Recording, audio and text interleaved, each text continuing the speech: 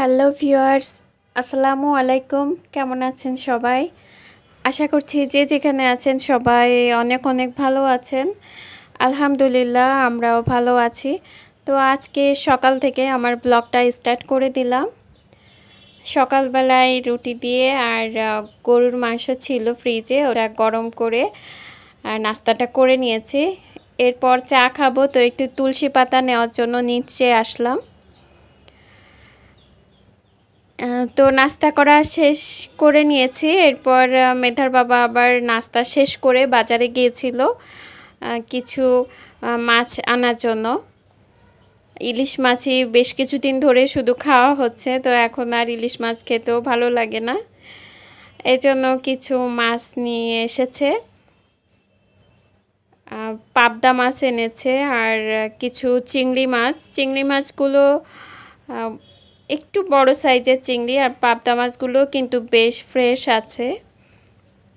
আর কিছু কই মাছ এনেছে, তাজা কই মাছ অবশ্য কাটিয়ে কেটে এনেছে আর কি মানে বাজার থেকে কাটিয়ে এনেছে। আর চাটা এখন আমি জাল দিচ্ছি। সব মশলা দিয়ে রং চাটা সকালবেলা খেতে কিন্তু আমার কাছে বেশ ভালোই লাগে। আর তুলসী পাতা দিয়ে চাটা খেয়ে কেন জানি এখন তুলসী পাতা না হলে ভালো লাগে না, নিচে থেকে যে নিয়ে আসি। তো এর মধ্যে চাটাও খেয়ে নিয়েছি আর দুপুরে রান্না করার জন্য পাবদা মাছগুলো কেটে নিয়েছি। আজকে পাঁচটা পাবদা মাছ নিয়েছি রান্না করার জন্য। আর মেধাও বেশ পছন্দ করে পাবদা মাছ, আমার কাছেও ভালো লাগে। আর এখানে পেঁয়াজ কুচি নিয়েছি, হাফ কাপের মতো। আর বাকি যে মশলাগুলো সব কিছুই আমি একবারে রেডি করে নিয়েছি। পাঁচটা কাঁচা মরিচ দুই টেবিল চামচ ধনে পাতা, এক চা চামচ রসুন বাটা, এক চা চামচ জিরা বাটা, লবণ নিয়েছে, হাফ চা চামচের মতো। হলুদের গুঁড়ো আর মরিচের গুঁড়ো, এগুলো নিয়ে নিয়েছি। সব কিছু একবারে রেডি করে নিয়ে যদি রান্নাটা শুরু করি, তাহলে কিন্তু মানে রান্না করার সময় টাইমটা কম লাগে বা সব কিছু খোঁজাখুঁজি করতে হয় না। একবারে চুলার কাছে গেলেই তাড়াতাড়ি রান্নাটা হয়ে যায়। তো লবণ হলুদও মাখিয়ে নিচ্ছি আমি। আর আজকে পাবদা মাছগুলো হালকা একটু ভেজে নেব। টমেটো পেস্ট নিয়েছি।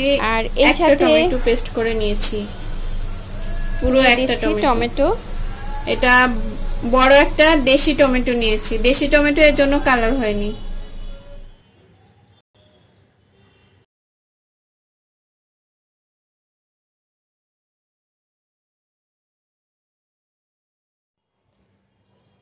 মাছগুলো আজকে আমি একটু হালকা ভেজে নিয়েছি। মাঝে মাঝে আবার না ভেজেই রান্নাটা করি। কারণ পাবদা মাছ কিন্তু যে ভাজতে হবে এমনই না।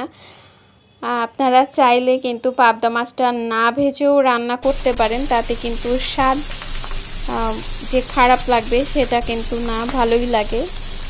মাঝে মাঝে মাছ, মশলার সঙ্গে কষিয়েও রান্নাটা করি। তো আজকে হালকা একটু ভেজে নিচ্ছি। মাছ ভাজা হয়ে গিয়েছে, আমি ওই কড়াইটার মধ্যেই রান্নাটা করছি। আর পাবদা মাছটার খুব বেশি আজকে ঝোল রাখব না। মেধার বাবা আবার খুব বেশি ঝোল পছন্দ করে না। কিন্তু পাবদা মাছের ঝোলটা খেতে কিন্তু বেশ ভালো লাগে। একটু মাখা মাখা থাকবে আর কি। তো এখন সব মশলাগুলো দিয়ে দিচ্ছি। প্রথমে গুঁড়ো মশলাগুলো দিয়ে নিলাম।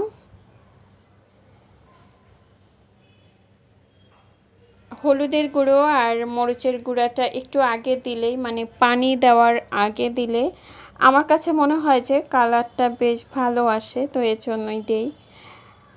আর আপনারা যদি চান তো একসঙ্গে দিয়েও মশলাটা কষি কষিয়ে নিতে পারেন। কিন্তু আমি বেশিরভাগ সময় এভাবেই রান্নাটা করি। আমার কাছে মনে হয় যে কালারটা ভালো আসে। এখন দিচ্ছি জিরা এখন বাটা যে মশলাগুলো ছিল এগুলো সব দিয়ে দিচ্ছি। আর আমি রান্না করছি আর ওদিকে মেধা কিন্তু তার বাবার সঙ্গে অনেক দুষ্টামি করছে। এক টেবিল চামচের মতো। সাথে একটু পেঁয়াজ বাটা দিয়ে দিলাম। এক টেবিল চামচের মতো দিয়ে দিয়েছি। আর খুব বেশি মশলা দেইনি অবশ্য। মশলাগুলো কিন্তু আমি একটু কম করে দিয়েছি বাটা যে মশলাগুলো।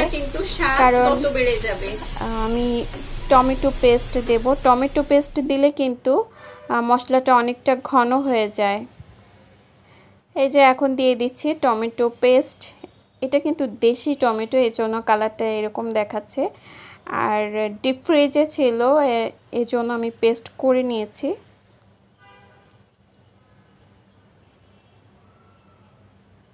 মেধার বাবা এভাবে মাছ ভুনা খেতে বেশ পছন্দ করে, তো আমি এই জন্য এভাবেই করি।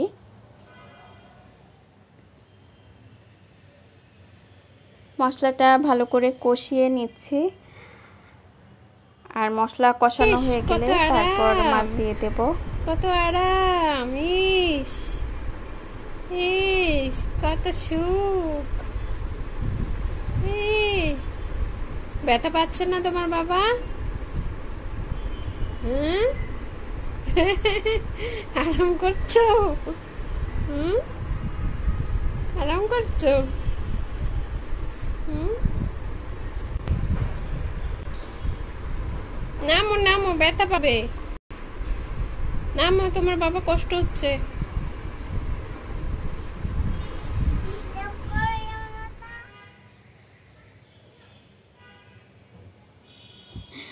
মেধা ওর বাবার সঙ্গে এত দুষ্টামি করে, আর যখন ওর বাবা বাসায় থাকে, তখন প্রচুর দুষ্টামি করে। তোর বাবার সঙ্গে মেধা দুষ্টামি করছে, আর এদিকে আমি আমার কাজগুলো শেষ করে নিচ্ছি। রান্নাটা প্রায় শেষের দিকে। মাছগুলো দিয়ে দিলাম, কারণ মশলা কিন্তু কষানো শেষ। এরপর কাঁচামরিচ দিয়ে দেব আমি। তো মাছগুলো একটু উল্টে দিচ্ছি। মাছগুলো ভাজতে গিয়ে কিন্তু একটু লেগে গিয়েছে। আপনারা যখন মাছ ভেজে নেবেন, তখন কিন্তু যে প্যানটাতে বা কড়াইটাতে ভাজবেন, ওটা যেন একটু তেল তেলে থাকে, তা না হলে কিন্তু লেগে যায় মাছগুলো। আর কড়াই বারবার ধোয়ার, ধুলে কিন্তু মাছ ভাজা যায় না, সেই কড়াইটাতে লেগে যায়। তো তখন আবার অনেক বেশি করে গরম করে নিতে হয়। দিয়ে দিচ্ছি তিনটা কাঁচামরিচ। আমি মাঝখান থেকে একটু ফালি করে নিয়েছি। কিছুক্ষণ জাল ওঠার পর লবণটা একটু চেখে নিতে পারেন এই পর্যায়ে। একটু কম থাকলে তখন দিয়ে নেবেন। হবে। আমি এখন ধনে পাতা কুচিগুলো ছিটিয়ে দিচ্ছি। আর ধনে পাতাগুলো দেওয়ার আগে একটু কুচি করে নেবেন, তাহলে কিন্তু বেশ সুন্দর হয়। আর ধনে পাতাগুলো দেওয়ার পর দুই এক মিনিটের জন্য একটু ঢেকে রাখবেন, তাহলে ফ্লেভারটা তরকারি ঝোলের সঙ্গে ভালো করে মিশে যাবে।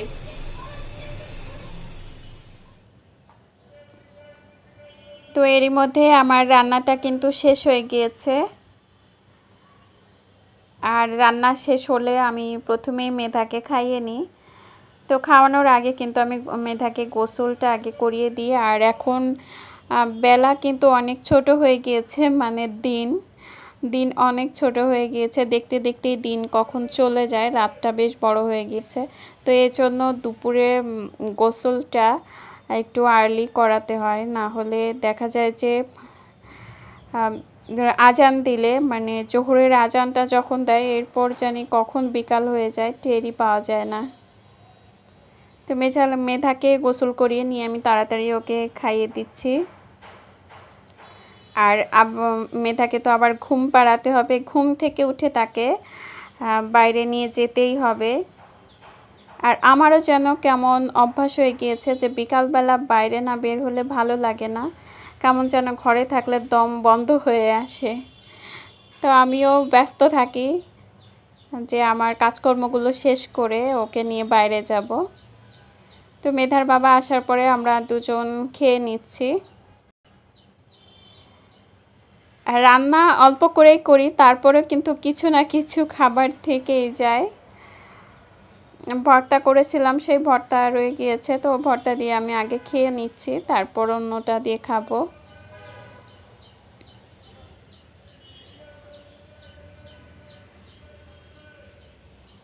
আর আজকে মেধাকে নিয়ে বাইরে যাব।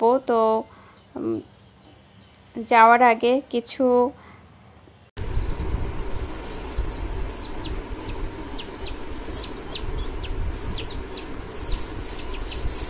কাজ আমাকে গুছিয়ে রেখে তারপর বাইরে যেতে হয়। আর ইউটিউবেরও কিছু কাজ আমি গুছিয়ে রেখে যাই। আর যাতে মানে কাজগুলো আমার কিছু এগিয়ে থাকে। তো বাইরে যাওয়ার পর আজকে হঠাৎ করে মুরগির বাচ্চা চোখে পড়ল। মেধা তো না নিয়ে ছাড়বেই না।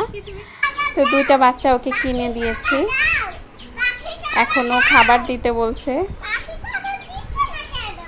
এখনইও খাবে না একটু পরে খাবে। মেধা তো খুব খুশি মানে এত খুশি বাচ্চা দেখে। ও তো কখনোই দেখেনি এত ছোট ছোট বাচ্চা মুরগির বাচ্চা। এই প্রথম দেখে মানে ও কি করবে কিছুই খুঁজে পাচ্ছে না বাচ্চাগুলোকে কি করবে। তো খেতে দিচ্ছি দিয়েছি বাচ্চাগুলোকে খাচ্ছে আর ও মেধা শুধু দেখছে। কি করে ওরা? আর বাসায় ছিল একটা পাখির খাঁচা। এই খাঁচাটা মেধার মামাই নিয়ে এসেছিল। মেধা জন্মের পর প্রথম যখন দেখতে আসে তখন পাখি সহ এই খাঁচা নিয়ে এসেছিল খুলনা থেকে। তো পাখি ছিল। পরে কিছুদিন পরে পাখি দুইটা পালিয়ে গিয়েছিল খাঁচা থেকে। তো তারপর খাঁচাটা এরকমই বারান্দায় রেখে দিয়েছিলাম। তা এত নোংরা হয়ে গিয়েছে খাঁচাটা বাইরে থেকে। আমার অনেকক্ষণ টাইম নিয়ে খাঁচাটা পরিষ্কার করতে হয়েছে। এর ভিতর আরও অনেক জিনিসপত্র ছিল। আর এটা পাখির দোলনা। পাখি তখন দোল খেত, এই দোলনায়। তো আমি রং করে দিচ্ছি। আমার বাসায় সব সময় কিন্তু কোনো না কোনো কালারের রং থাকে। আমার যখন প্রয়োজন হয় তখন রং করি কোনো কিছুতে। আমার রং করতে অনেক ভালো লাগে, তো খাঁচাটা রং করে দিচ্ছি। মেধা তো ব্যস্ত হয়ে গিয়েছে, খাঁচায় কখন বাচ্চাগুলোকে ঢুকানো হবে? তো মেধা বাচ্চা নিয়ে খুব ব্যস্ত, তো ওকে যাই হোক কোনো কিছু দিয়ে ব্যস্ত রাখতে পেরেছি, যদিও আমার কাজ অনেক বেড়ে গিয়েছে তারপরও। তো ভিওয়ার সেই সাথে কিন্তু আমার আজকের ভিডিওটা এখানেই শেষ করছি। আমার আজকের ভিডিওটা যদি আপনাদের ভালো লাগে অবশ্যই লাইক দেবেন, কমেন্ট করে জানাবেন কেমন লেগেছে আমার আজকের ভিডিও। আমার, আর যারা আমার চ্যানেলে নতুন আমার ভিডিও ভালো লাগলে প্লিজ আমার চ্যানেলটি সাবস্ক্রাইব করবেন। সবাই অনেক ভালো থাকবেন, সুস্থ থাকবেন, এই কামনায় সবাইকে আল্লাহ হাফেজ।